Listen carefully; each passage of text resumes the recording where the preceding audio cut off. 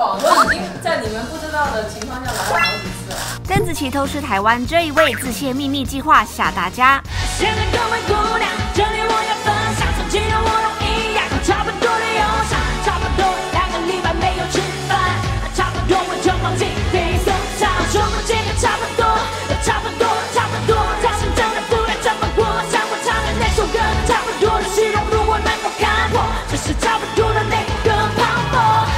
担任台北时装周表演嘉宾，其实他早就偷偷来好几次了。我今年狂来台北，狂！我已经在你们不知道的情况下来了好几次了。我已经在那边拍了好多 MV 了。吃了好多东西。然后你再换一个机，被你发现了，我昨天又去买那个呃那个饭团，永和豆浆道啊。你想去哪里拍在棚里面，我再透露一些我我之前去了屏东拍 MV 了。什么啊？什么都透露。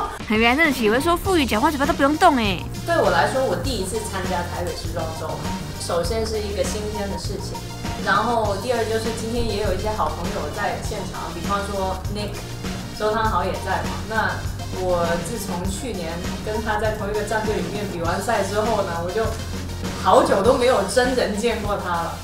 对，我们一直都在微信上面沟通啊，我也在这边要拍 MV，所以我我我准备就是不久的将来要 surprise 一下大家。是单曲吗？还是完整的专辑？完整的专辑。其实，在不久的将来，大家就可以听到一首新歌了。那今年的跨年的版本？我好像有一个跨年的活动，可是我先不公布，因为因为这个就留给大会去公布。这是在台北的，台北，台北，台北。这是年底的跨年。啊，不是年底的跨年，是十二月中的跨年。跨年还有都严重了。我是给农历是今年的中国哦春节。哦原来不是十二月中，搞混了。既然是时尚活动，便来谈谈他的穿搭喽。师傅有没有追求一些必备的时尚？那牛仔裤、球鞋是必须的。那那牛仔裤会洗吗？不太洗，我妈常常会偷偷拿去洗，然后我都会觉得你怎么又又又拿去洗了？我就是不想要去洗它，有一些质感呢，你洗了就不对了。就是我想要把它留着，就是好像很残旧，就是你千万别去碰它，你就让它就就那个样子吧，就是旧旧的，然后折到就是你千万别去烫我的牛仔裤。